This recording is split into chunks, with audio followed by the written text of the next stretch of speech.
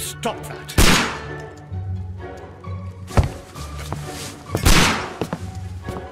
You are utterly mad.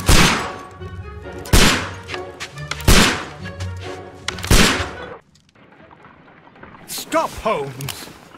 Is that you, Watson? Yes, of course it is. And you almost killed me. Nonsense. I was aiming for the vases. Blindfolded? Watson, quiet, please. I'm trying to concentrate.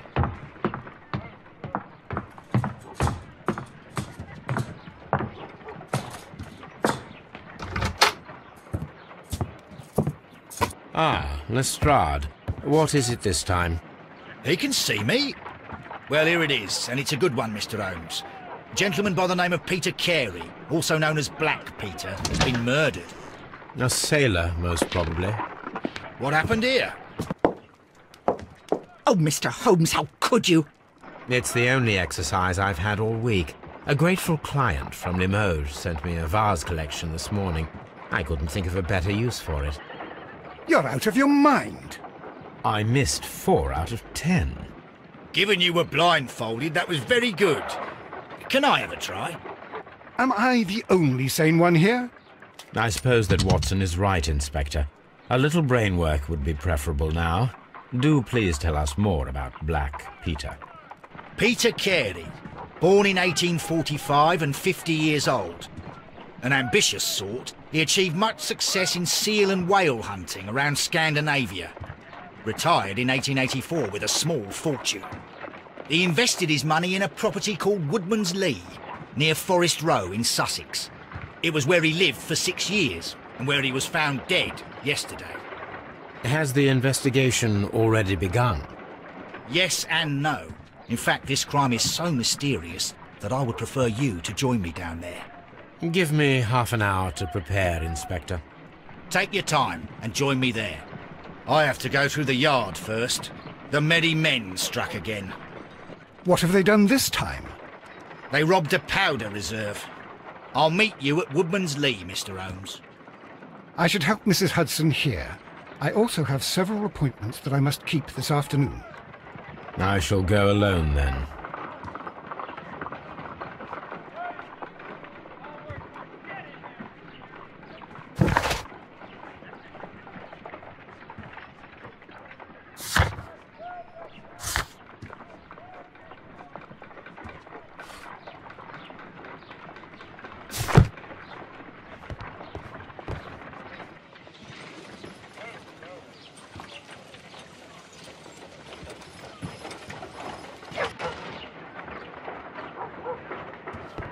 You go along to Peter Carey's house. Mrs. Hudson and I will take care of the mess you've made here.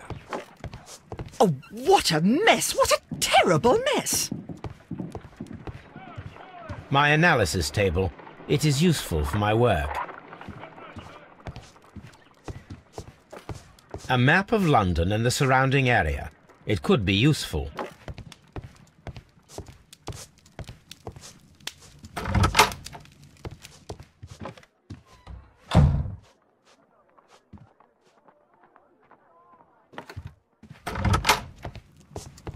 This is where I keep my post. My archive. I can always consult with it if needed.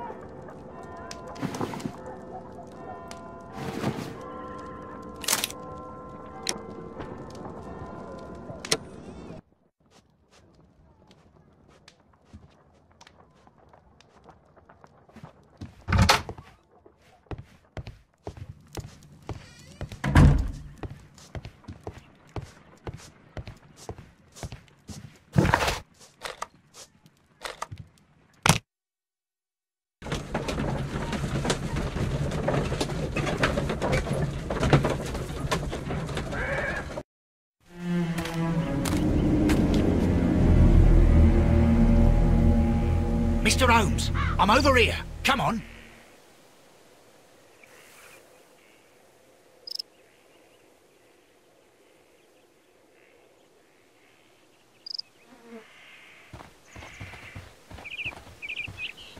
Mr. Holmes?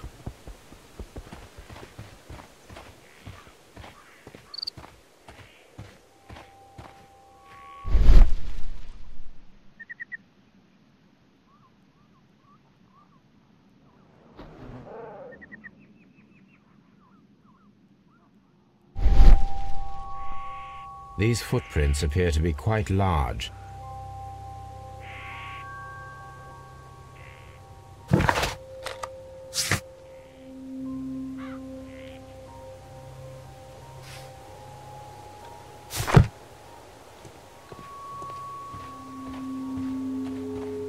Mr. Holmes?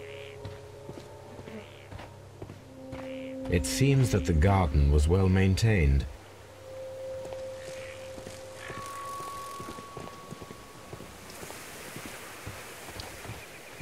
Mr. Holmes? Inspector Lestrade, when will you remove my husband's body? It's sacrilegious to leave him here like this. As soon as we can, Mrs. Carey, I assure you. Allow me to introduce you to Mr. Sherlock Holmes. He's a detective. No doubt you've heard of him. I'll wait for you in front of the cabin, Mr. Holmes. My condolences, Mrs. Carey. Thank you, Mr. Holmes.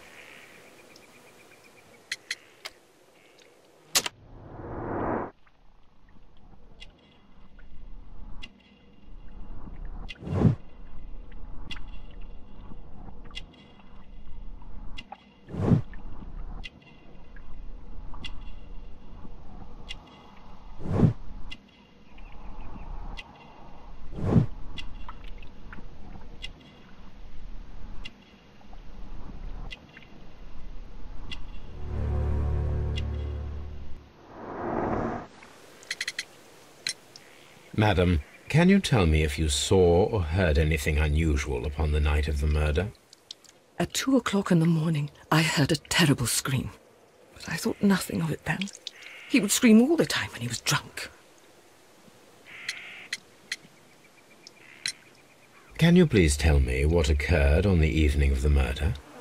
Well, Peter got drunk in the evening. He was in such a terrible temper. Usually, whenever that happened, he'd stay all night drinking in his cabin before passing out.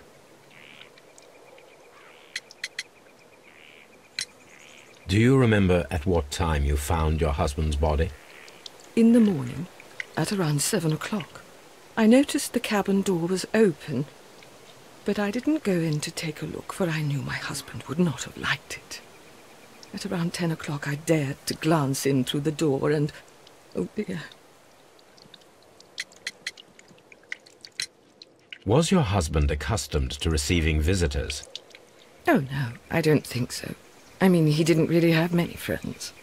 We lived quite an isolated life here, after his retirement.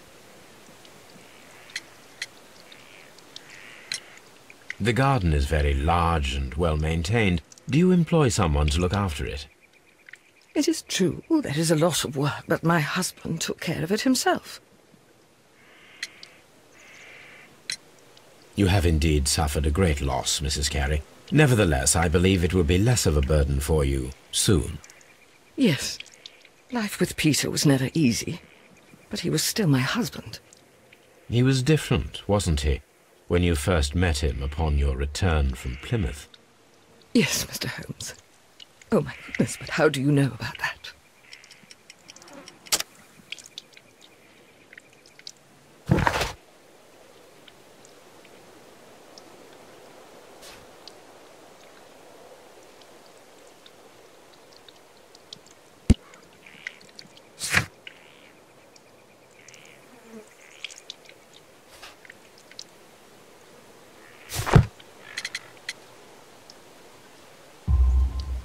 You undertook a pilgrimage to the Cathedral of Santiago de Compostela when you were young.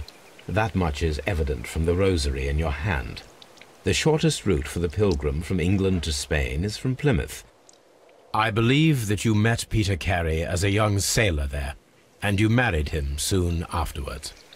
That is indeed what happened, Mr. Holmes. How extraordinary. Thank you, madam. Who could do such a thing? My poor husband.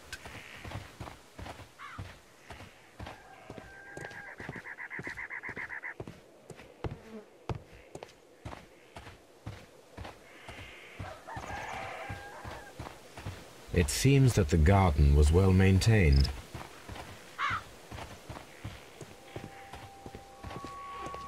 Peter Carey's body is inside the cabin. We took care not to touch anything. Mr. Holmes? The door is locked. Wait just a moment, Mr. Holmes, and I'll open it. I locked it yesterday to ensure that no one should enter the cabin and tamper with the evidence. Ah, good thinking. Hello, hello, hello. What is it, Lestrade? It seems to me that someone has tried to force it, Mr. Holmes. Let me see.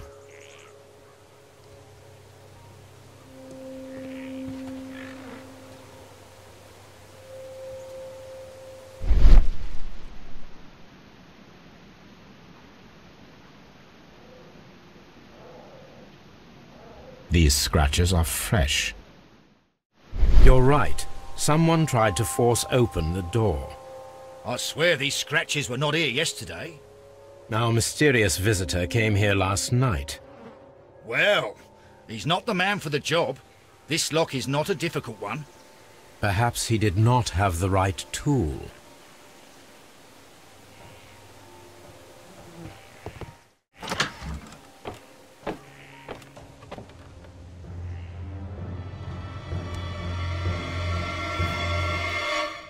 What a terrible way to die.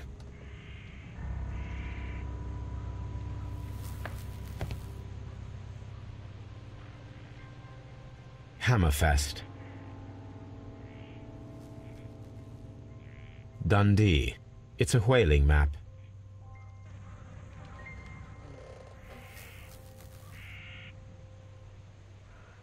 The tooth of a sperm whale, probably from one of Peter Carey's catches.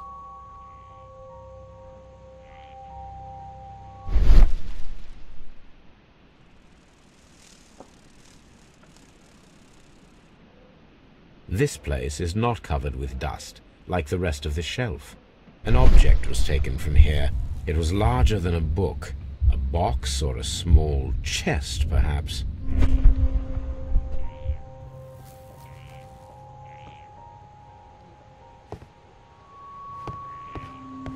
Hmm. The ship's logs of the Sea Unicorn for the years 1878 to 1884. Peter Carey was her captain. Harpoons for hunting whales.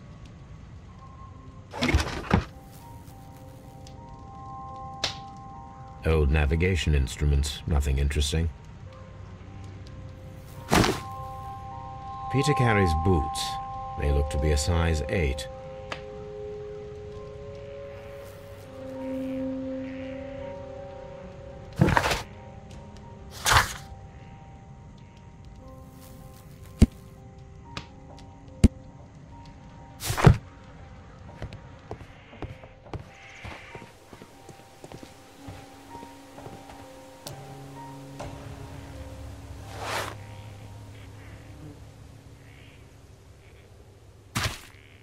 These boots don't match the footprints.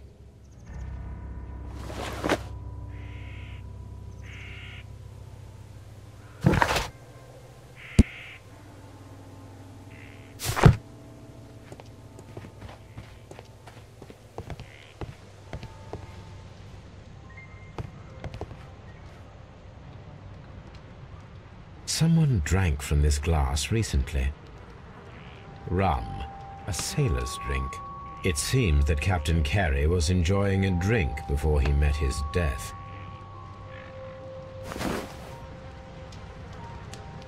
The initials PC have been crudely burned. A sailor's work.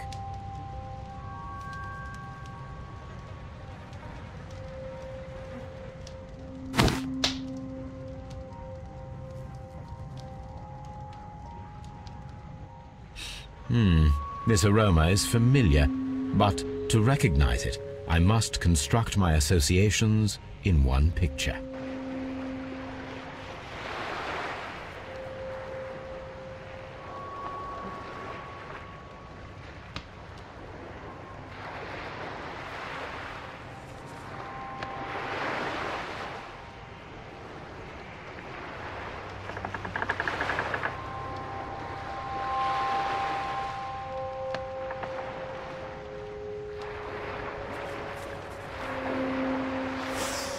Yes, this is a coarse tobacco, quite strong and very popular among sailors.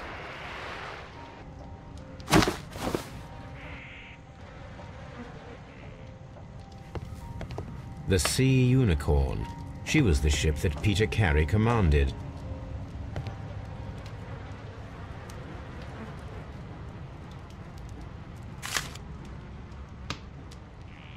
JHN are probably the initials of the owner of this notebook. Hmm. The pattern of the blood stain indicates that the notebook was not lying on the floor prior to the crime, but it was dropped into the pool of blood after the death of Peter Carey.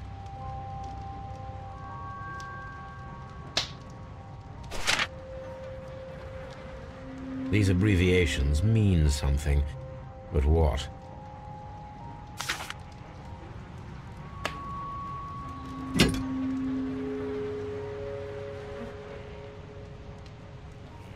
This blood is from the pool underneath the dead body.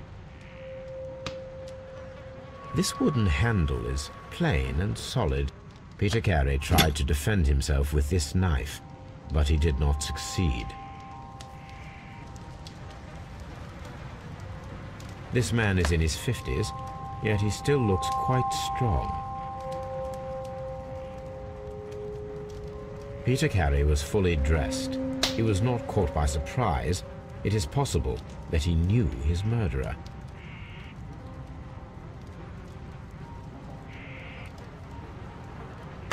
Peter Carey was impaled to the wall by a whaling harpoon. The weapon fully penetrated the body. The force of the blow was immense.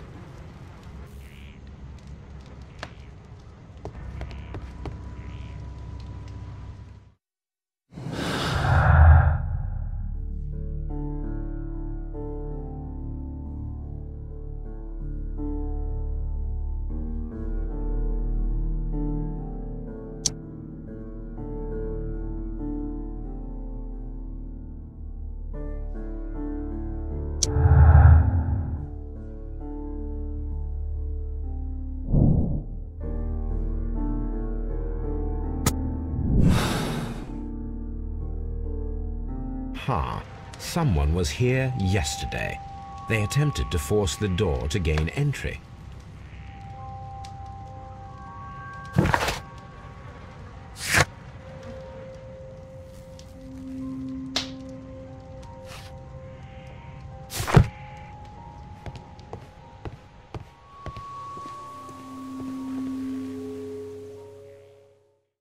Well, Mr. Holmes, what do you think?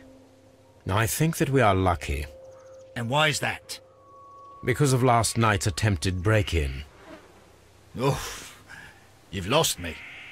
It is very probable that whoever came here hoped to find the door open. They tried to force it with a knife blade, but they failed. What will they do? Why, return tonight, when they will be better prepared. Aha! So what do you propose? We shall remain on the outside, near the window, where we stand the best chance of catching sight of our visitor. Well, gentlemen, ready your pistols. We have a long night ahead of us.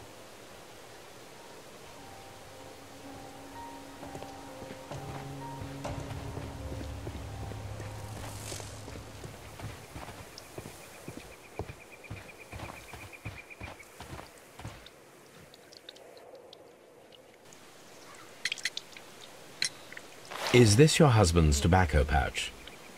I'm not sure. It might be. But he hadn't smoked in a very long time. Your husband's private papers. Do you know where they are? There was a small tin box, barely larger than a book. He kept his papers there. It should be somewhere in his cabin. Thank you, madam.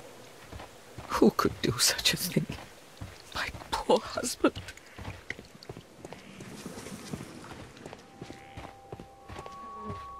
We need to find a good place for an ambush. Perhaps behind Carey's cabin, near the window.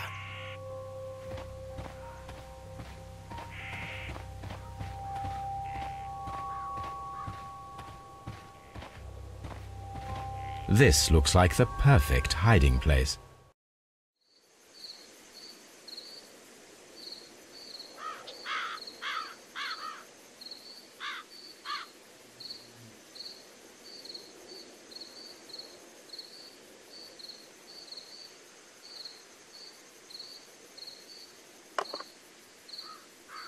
Shh.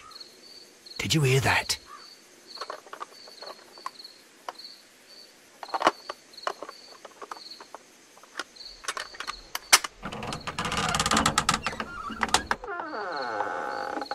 There's someone there.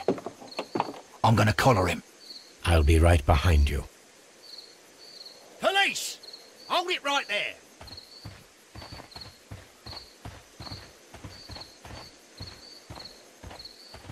Mr. Holmes? Mr. Holmes, come and see what we've caught in our net. All right, my fine fellow. Who are you and what are you doing here? You're detectives, I suppose. Uh, You imagine that I'm connected with the death of Captain Carey. I assure you I'm innocent. Innocent? And what are you doing in his cabin? Shall I tell you? You came to retrieve what you had lost after killing Peter Carey, but we were here waiting for you. What is your name? John Hopley Nelligan, but I... I didn't... Do you deny that you came here yesterday? No, but... But I... Yes, it, it's just that I couldn't... I'm tired of this. Off we go to the yard. Tomorrow, I'll see that you're put in front of the judge. What? But you can't! I'm not... It's a terrible mistake! Enough. You can explain all of that to the judge. You're coming with me to the yard. But... In light of recent events, it seems evident that your coming here was unnecessary. All the same, I'm very grateful to you, Mr. Holmes. You are welcome, Inspector, but please don't be too hard on our young fellow. I would like to question him tomorrow morning.